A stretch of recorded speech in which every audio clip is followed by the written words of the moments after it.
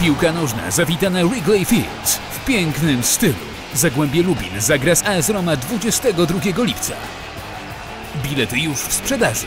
Pawłowski, Woźniak, Totti, Lamella, Rossi w Chicago na Wrigley Field.